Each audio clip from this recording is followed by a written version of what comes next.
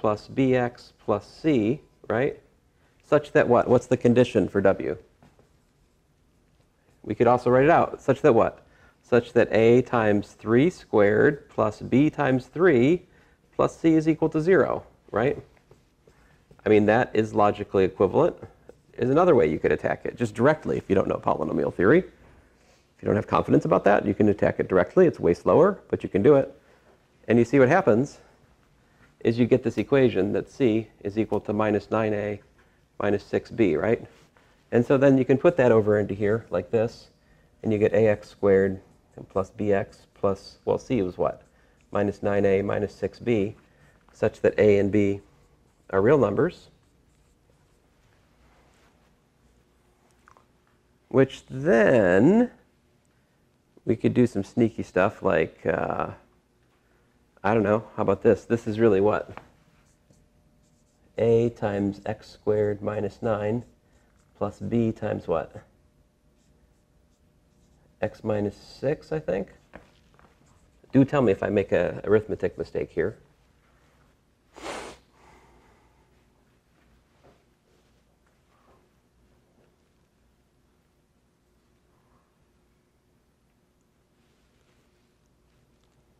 Right?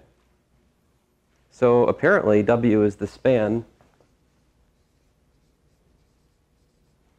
it's the span of x squared minus 9 and x minus 6. Oh, by the way, the span notation, still true, still works for abstract vector spaces just like it did before. I only talked about spans of column vectors up to this point, but we can just as well take the span of matrices or polynomials or other things. It has the same meaning. It's a set of all finite linear combinations of x squared minus 9 and x minus 6. Yep. I really think that that is a mistake. Thank you. I was about to say that this, this is very troubling because x minus 6 is not in w, right? Plug in 3 into this. What do you get? 3 plugged into x minus 6, we get minus 3, which is not 0. It's not a good sign. 3, which is because that was a 3. Because that was a 3. All right, there we go. I feel better. Now, of course, if you go my root up here, you get what?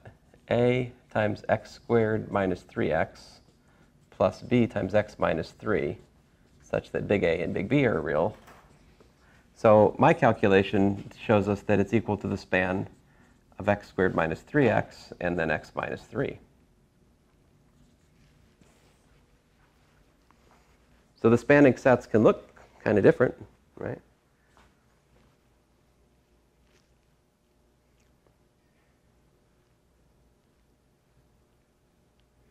Hmm.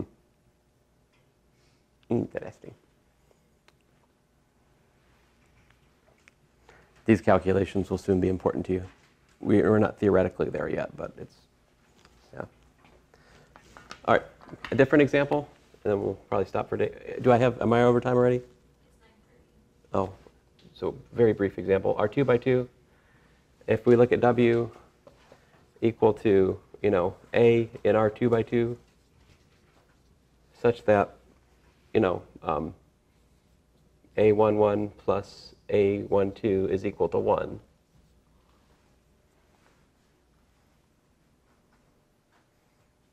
We can disprove that this is a subspace of the vector space R2 by 2 very simply. Right? It's a subset, fine. Number one always works, almost always. But number two, we get into trouble if we look for zero. What would zero, what's the zero matrix?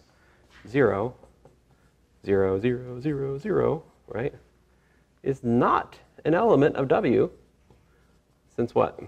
0, 1, 1 plus 0, 1, 2 is 0 plus 0, which is 0, which of course is not equal to 1, right? So this set fails to have the 0 vector, so it's certainly not a subspace of the 2 by 2 matrix vector space. As a general rule, if the thing is defined by equality where the equality is not zero, it's probably not a subspace. If your thing is defined by inequalities, it's probably not a subspace. If it's defined by equality, it's probably a subspace as a general guide. I have to work pretty hard to make equalities not turn out to be subspaces.